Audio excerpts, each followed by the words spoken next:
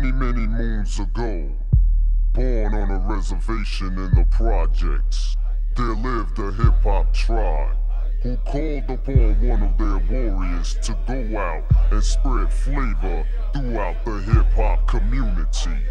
The only problem is, he just don't give a fuck. And his name